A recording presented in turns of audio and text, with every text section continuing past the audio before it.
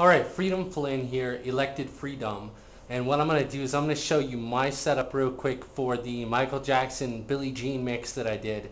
I'm using my lovely M Audio uh, Xponent and Torq, the software that comes with the Xponent. Uh, I've made a couple modifications. I'll run through those real quick. Uh, very, very easy and you'll see the logic behind it. And then I'll actually break down the mix and show you how I did it uh, this will hopefully help any beginners out there or anybody with an M Audio Torq and using the uh, M Audio Torq software uh, with the Xponent that doesn't quite know how to do some things. So the first thing is I've got a bunch of cue points set up here. Um, now you can do those easily in Torq by just clicking the set button with the mouse or using the, uh, the mouse here on the Xponent and then pick the corresponding uh, cue point that you want. Now I've got the same track loaded up on both sides. So I've got Michael Jackson, Billie Jean loaded up on both sides. I've actually got some samples loaded up down here. I've switched my view so that I can see the sample bank. I love to use samples and the biggest thing for me trying to figure out uh, Torq and switching to Torq was how to actually play those samples using the controller uh, you would actually normally hit X or the minus sign and then that would load up whatever you assign for QS1 or QS2. So if I assign this first sample here to QS1, I hit the X sign, now my sample is loaded up. However, I can't play a track while that sample is going.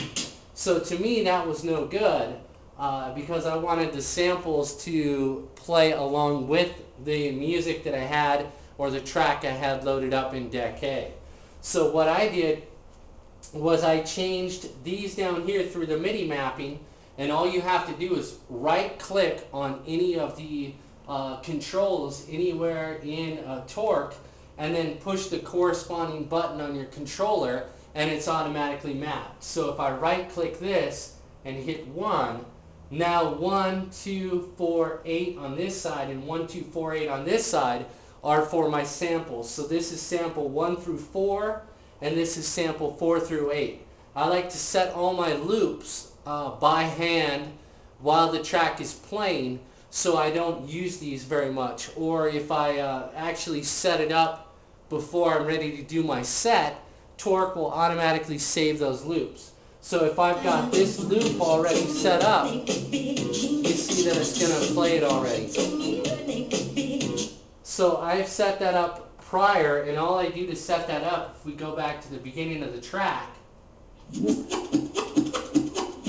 is all I do is I hit play, and I'm going to hit in, and I'm going to hit out. And then if I get it off the first time, I'll show you how to refine it. So there, I've got my loop set. So I don't use the 1, 2, 4, and 8 counts here to set my loops up. Uh, now I've got my samples loaded up in here, so if I want to bring in a sample now, you see how that works, and that makes it much more practical when using Torq to, uh, to mash up or do remixes of a song. So this Billie Jean track, uh, what I want to do first is I, I've got once again, my cue point's set up over here. First cue point is here. So let me go ahead and loop that.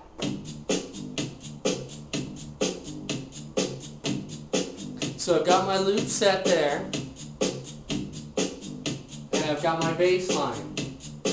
So if I want to go ahead and start this track from the beginning, let me just rewind this deck A here to the very beginning. Uh, and what I want to do is start with the uh, with the track Michael Jackson, Billie Jean as is. So I'm going to just hit play.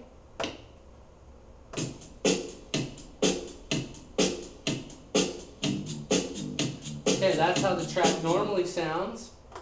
So if I want to bring in my mix, what I'm going to do is I'm actually, I've got three separate samples loaded up here that I've put together outside already in Ableton uh, with my Axiom 25 and you can see that one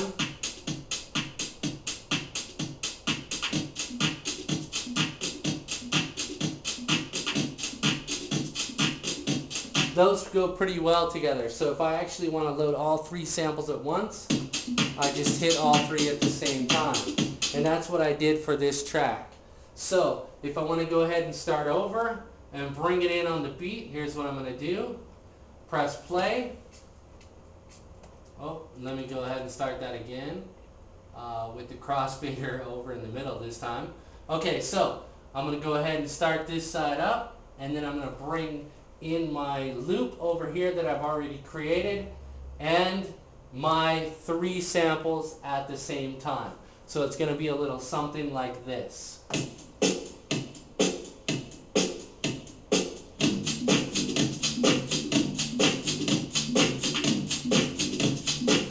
See everything's in time. My, my uh, samples are at 125. So I've set my track to 125.